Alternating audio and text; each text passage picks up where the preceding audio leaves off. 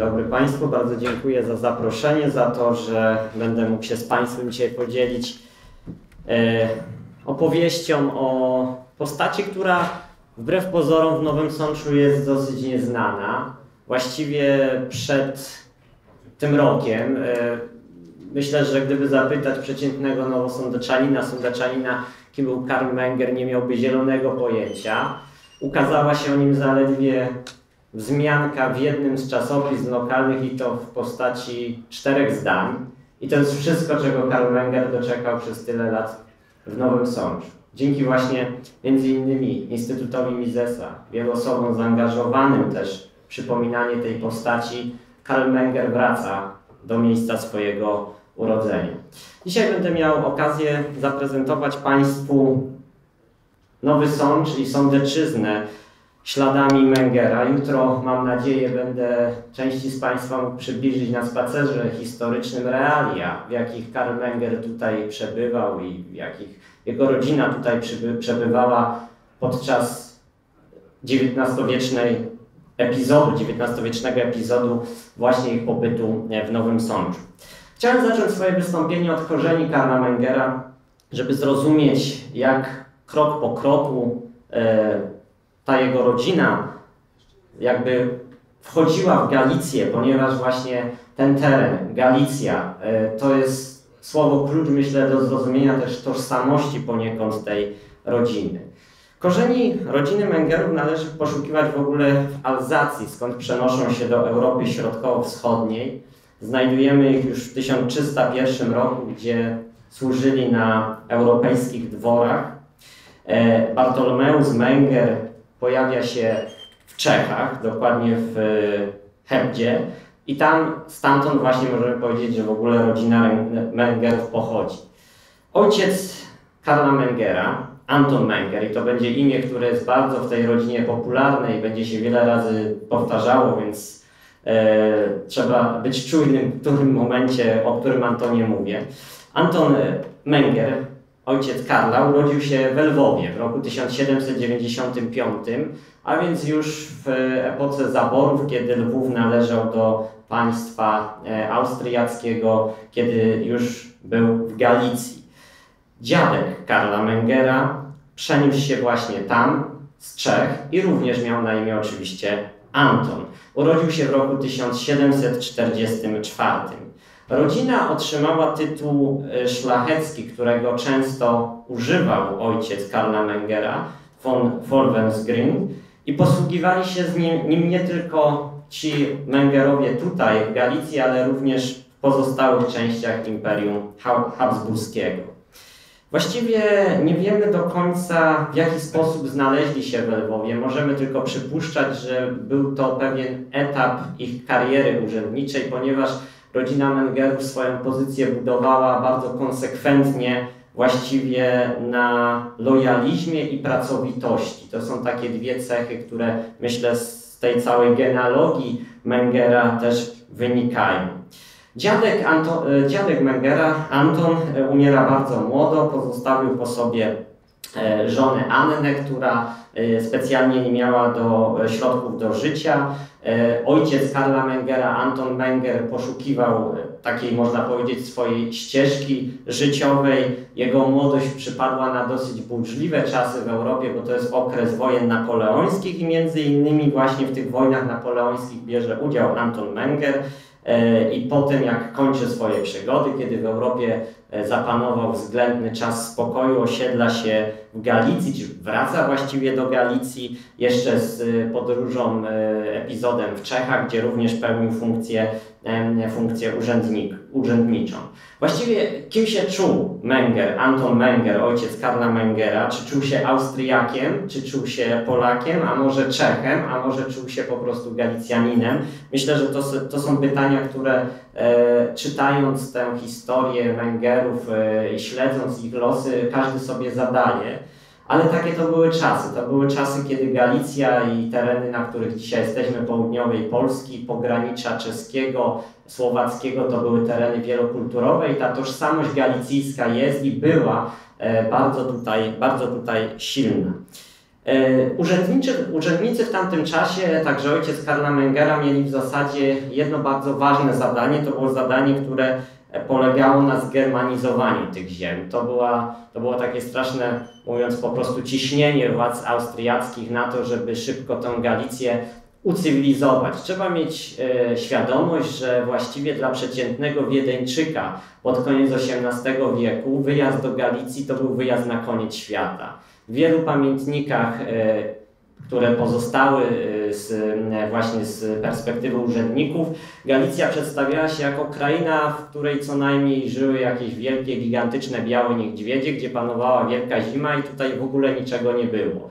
No i w takich warunkach mniej więcej Menger się decyduje pracować. Myślę, że wynikało to też z tego, że jego ojciec był już w tym Lwowie i wiedział dobrze, że Galicja to nie jest aż tak bardzo trudny do życia kraj.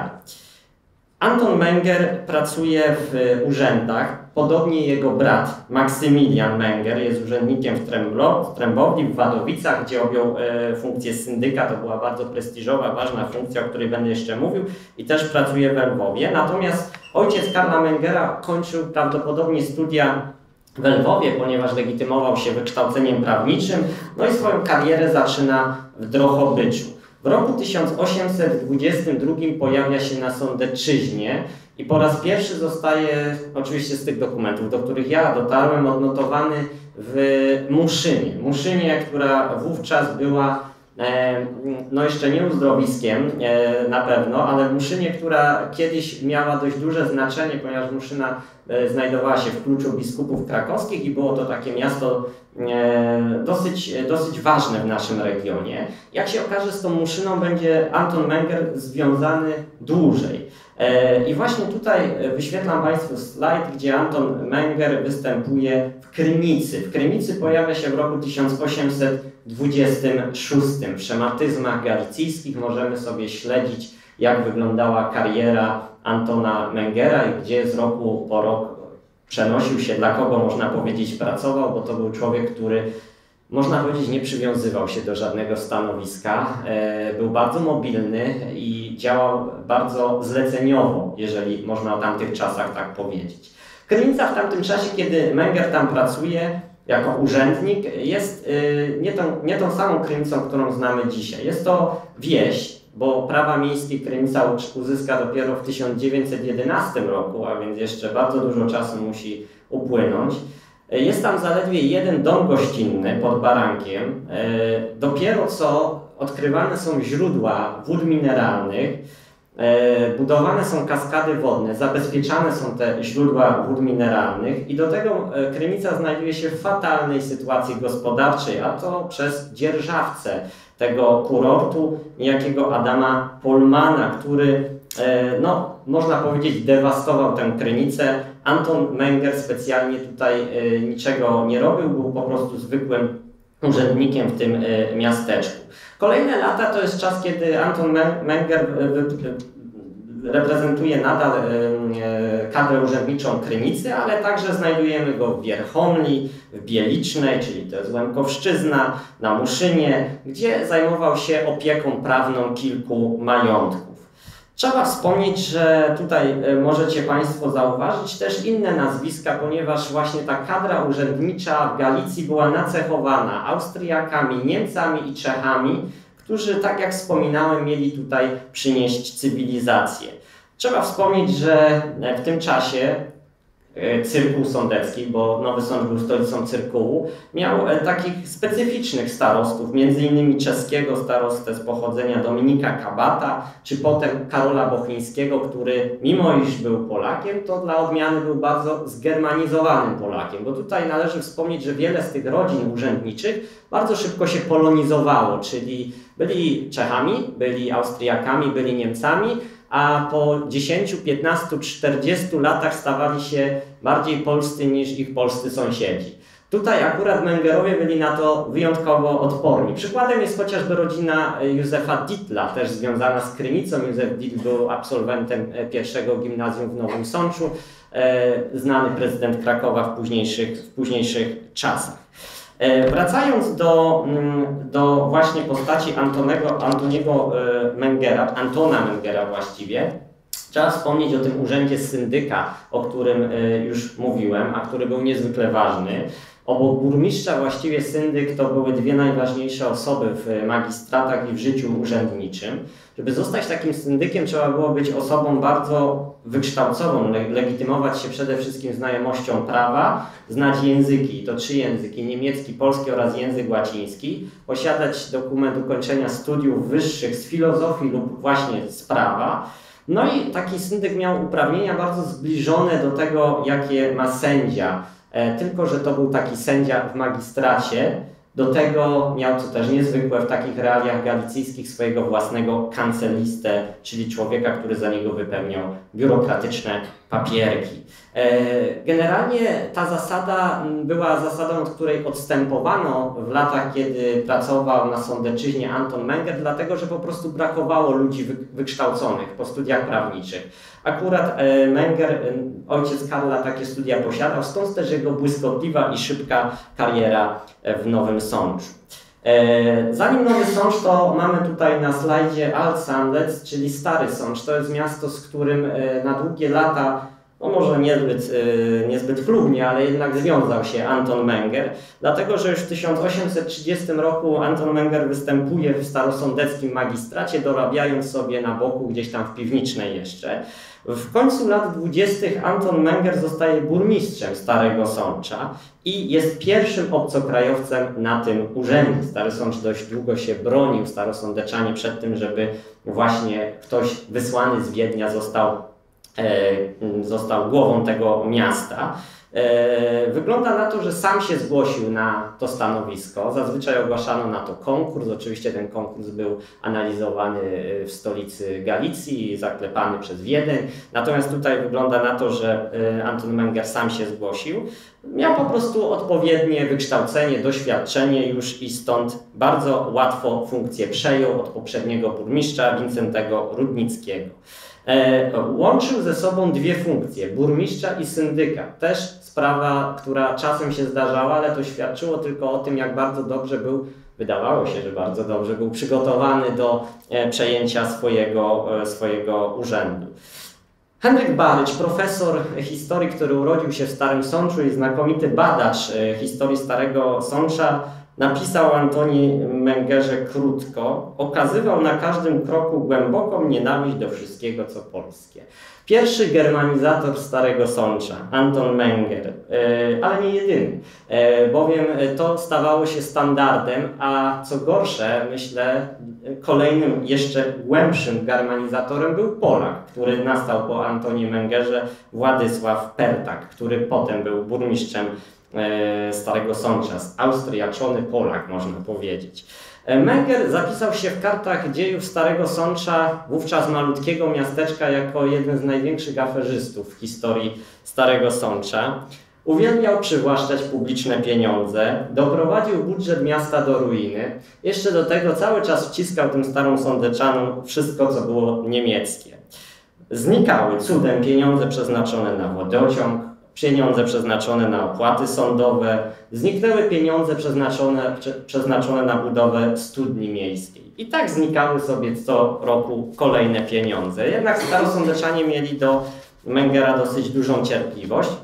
W tym czasie e, trzeba powiedzieć, że poziom kadry, którą miał pod sobą Menger, nie zachwycał.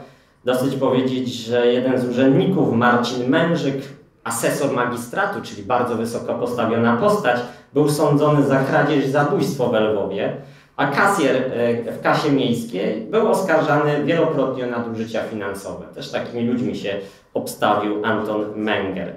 W stosunku do Mengera w tych latach bardzo dwie e, rzeczy są e, interesujące. To jest stosunek do powstania listopadowego, którego echa i odpryski gdzieś tutaj trafiały, natomiast nic na ten temat specjalnie nie wiemy. A drugie bardzo ważne wydarzenie to jest epidemia cholery, która przetoczyła się przez Galicję i nie ominęła też tego regionu w 1831 roku.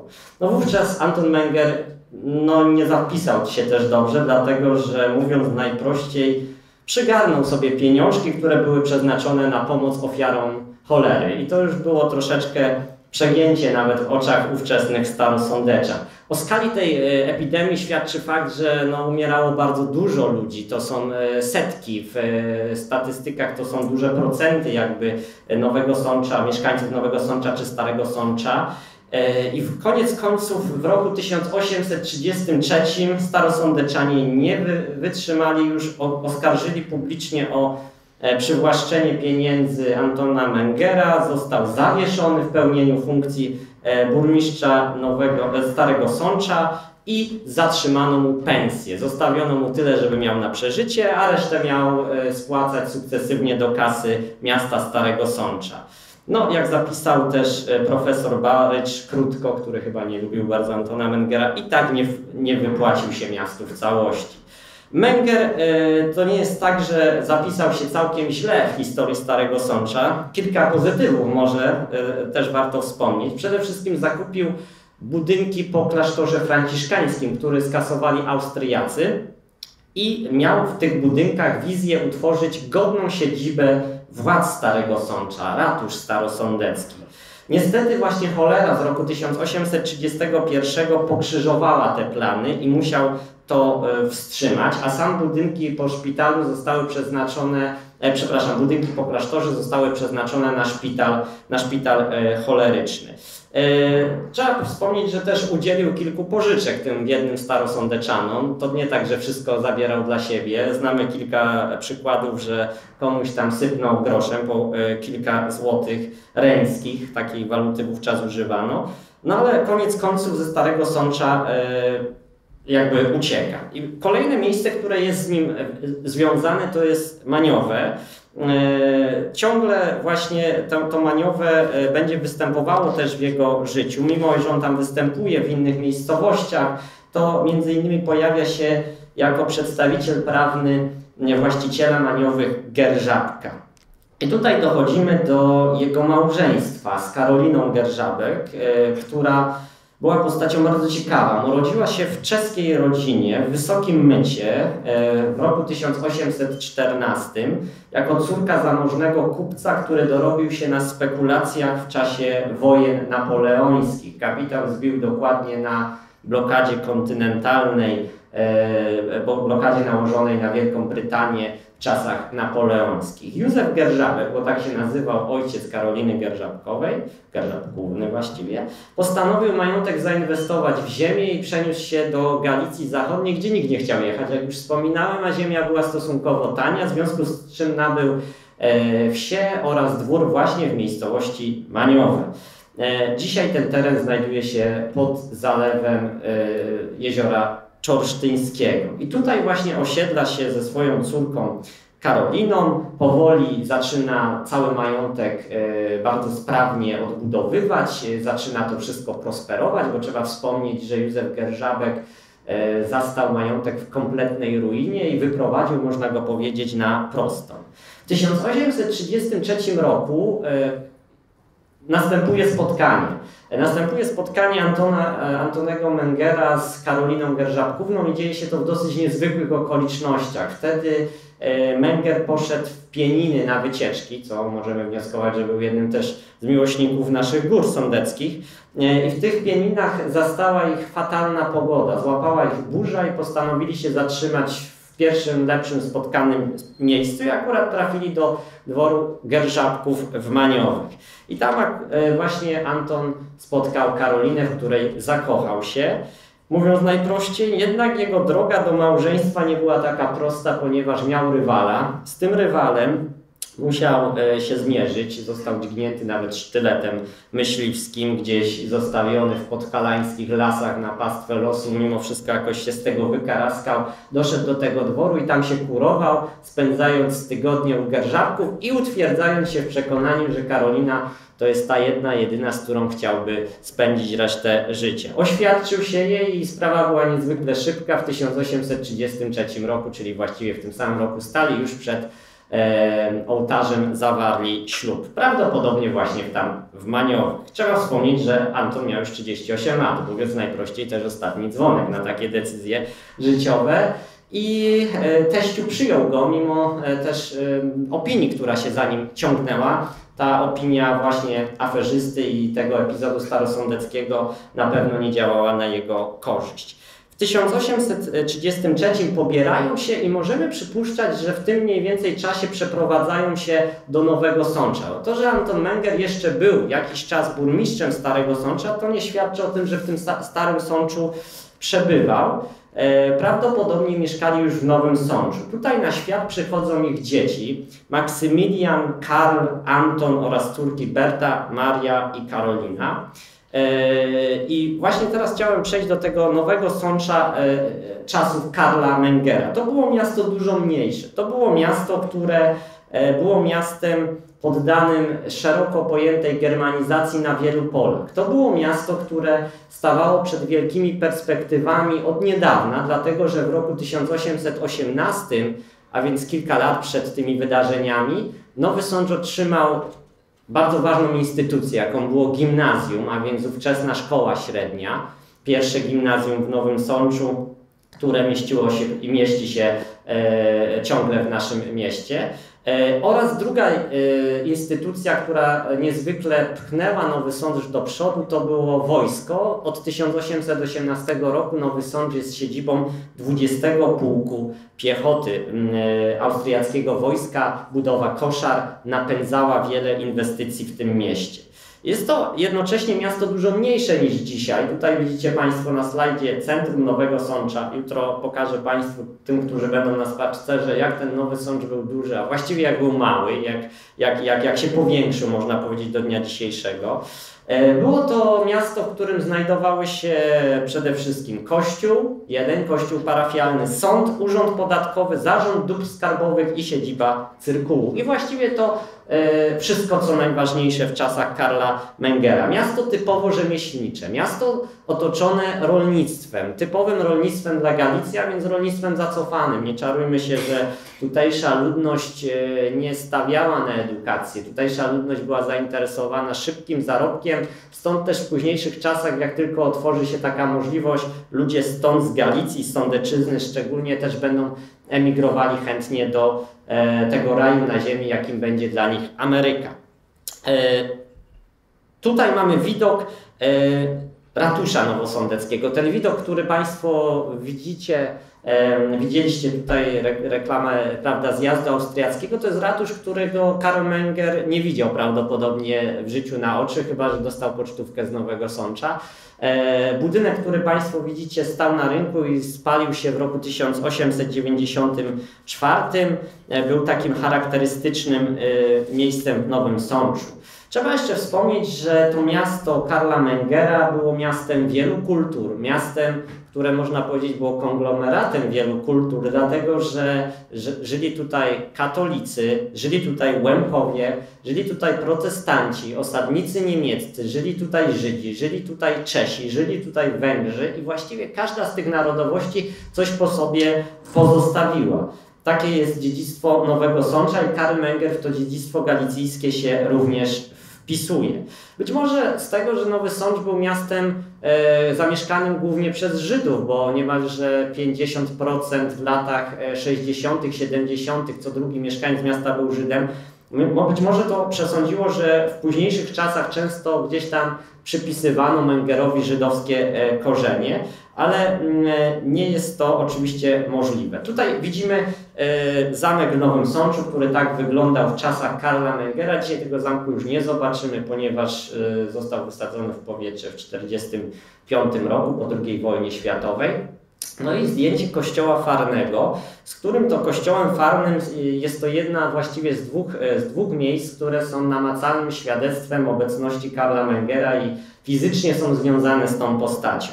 Właśnie tutaj e, w tym kościele został najpierw ochrzczony Maksymilian Menger, e, który urodził się w 1838 roku. W późniejszych czasach zostanie również bardzo znaną postacią, bo będzie pracował e, w Austrii, będzie politykiem, posłem, ale to jest w ogóle osobna historia. I wreszcie w tym kościele w lutym marcu 1840 roku e, zostaje ochrzczony Karl Menger. Jeden dokument, dokument, który zachował się w archiwach parafii świętej Małgorzaty, pokazuje bardzo dużo, czy daje nam bardzo dużo informacji na temat Karla Mengera. Wyświetlam jego pierwszą część, którą właśnie chciałbym pokrótce omówić. Jest to fragment Księgi Chrztów z roku 1840. Widzicie Państwo 23 a więc 23 luty, dzień urodzin i chrzest, który odbywa się 12 marca. Dosyć długa, e, róż, duża różnica czasu. Zazwyczaj w tamtych czasach dzieci były chrzczone niemalże błyskawicznie, co wynikało z tego, że obawiano się o życie dziecka. Były to czasy, kiedy nie mieliśmy takiej opieki medycznej. Natomiast tutaj mamy aż 12 e, marca, co może wynikać z tego, że oczekiwano na przyjazd ojca chrzestnego, o którym za chwilę, i dziecko było po prostu zdrowe, zdrowe od urodzenia. Na pewno sprawiło to wielką radość rodzicom Antoniemu e, i Karolinie, dlatego że Karolina też niestety wcześniej poroniła kilka razy, co też możemy wyczytać z dokumentów. Menger zostaje ochrzczony przy chrzcielnicy, która stoi do dzisiaj w kościele świętej Małgorzaty. Pochodzi ona z 1557 roku. Jest to e, miejsce, w którym do dzisiaj chrzci się dzieci. E, I tutaj mamy trzy imiona, które otrzymał na chrzcie. Karol Eberhard Antoni. Trzy imiona, które nadano mu właśnie na chrzcie. Mamy napisaną również yy, na dole Golda, Golda, to był ksiądz, który udzielał mu chrztu, ksiądz Jan Golda dokładnie. Mamy napisaną również akuszerkę, Marię Ostrowską, która występuje obok. Akuszerki w tamtym czasie odgrywały bardzo istotną rolę przy porodach, mimo że nie były często wykształcone, miały taką wiedzę z dziada pradziada, można powiedzieć, to było to dosyć skuteczne. Dopiero 50 lat po narodzinach Mengera w Galicji instytucja akuszerki jako tako zostanie sformalizowana i będzie, będą te kobiety się kształciły. Niezwykle ciekawa jest druga część tego aktu chrztu, gdzie widzimy e, ojca Antoniego Mengera, nobilis, a więc szlachetnie urodzony. E, I znowu mamy dopisane Wolves Green, e, a więc to tytuł szlachecki i Antoni, syn Antoniego i Anny Miller i matka Karolina Gerszabek, córka Józefa i Teresy Nata Kalau. Z, z tego domu pochodziła babcia, babcia Karla Mengera. Bardzo interesujące są zapiski o chrzestnych przyszłego ekonomisty, których widzimy w ostatniej rubryce. E, prawdopodobnie podpisywali się sami, bo widać, że to jest pismo, którego, które raczej nie jest wyrobione. E, to i tak cud, że pisać potrafili, bo w tamtych czasach najczęściej to były krzyżyki, ale ta pozycja, którą też zajmowały, zajmowali, do tego zobowiązywała. I Józef Gerżabek, pierwszy z chrzestnych, to jest dziadek Karla Mengera, e, natomiast Teresa Gerżabek to jest ciotka Karla Mengera, siostra matki Karoliny Gerżabkowej. E, bardzo mm, ciekawym faktem jest e, informacja, że być może chrzestnym Karla Mengera miał zostać kuzyn jego ojca, również Karl Menger, po którym prawdopodobnie właśnie ekonomista otrzymał imię.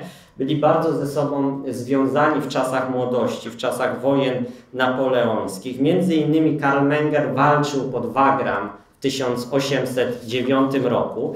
Być może coś mu przeszkodziło e, w kwestii przybycia e, do Nowego Sącza na chrzest Karla juniora Mengera i w związku z tym awaryjnie powołano właśnie dziadka na chrzestnego. Takie sytuacje się czasem zdarzały, stąd być może taki zapis.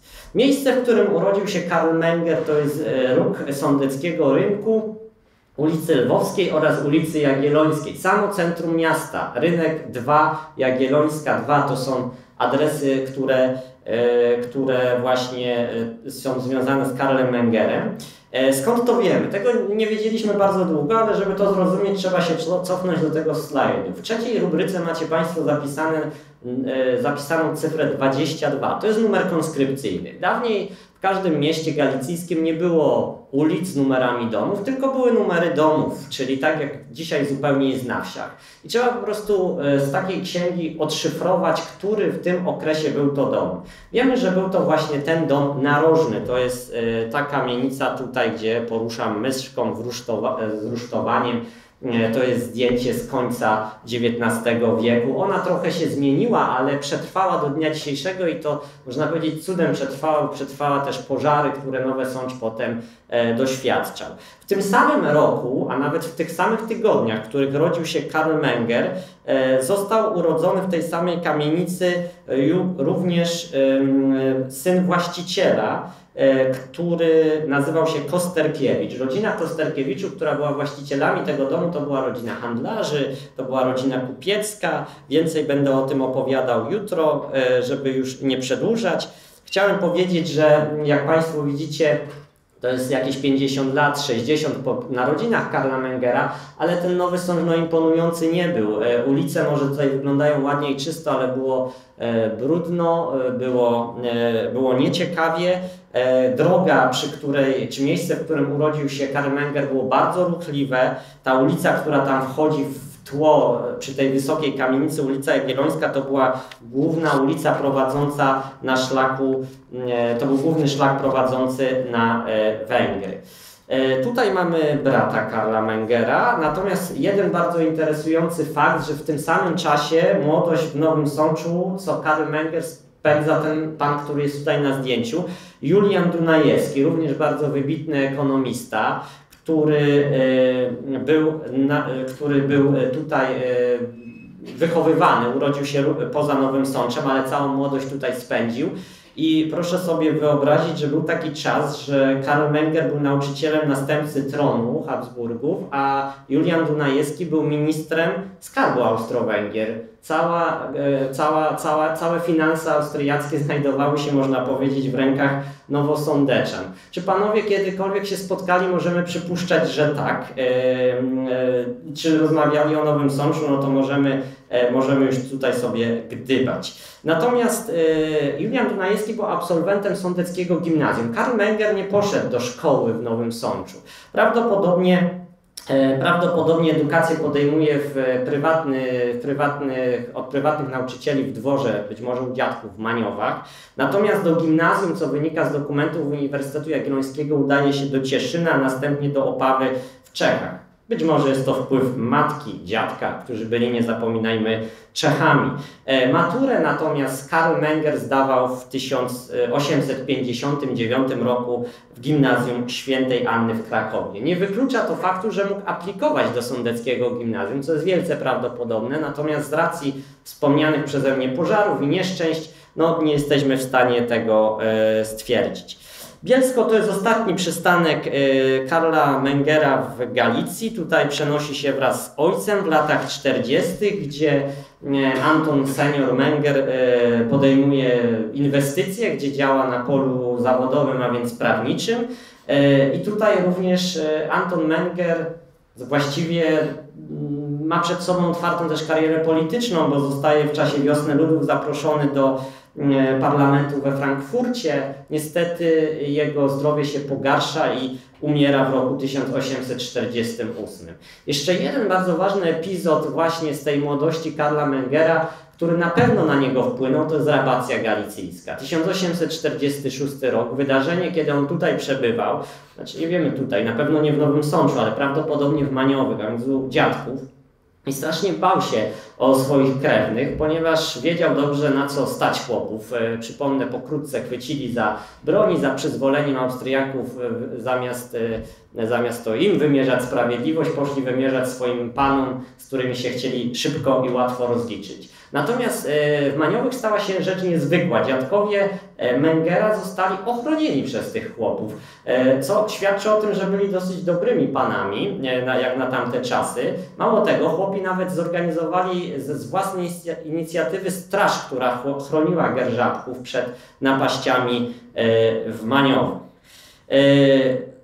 Taki jest epizod galicyjski życiorysu Karla Mengera, człowieka, który z tej rodziny, bardzo bogatej historii, zrobił oszałamiającą karierę. Myślę, że cała historia rodziny i ten jego życiorys jest wisienką na torcie tej e, postawy, którą prezentowali, lojalizmu, pracowitości, no i tego, że służyli właśnie też innym ludziom całe życie. Dziękuję bardzo.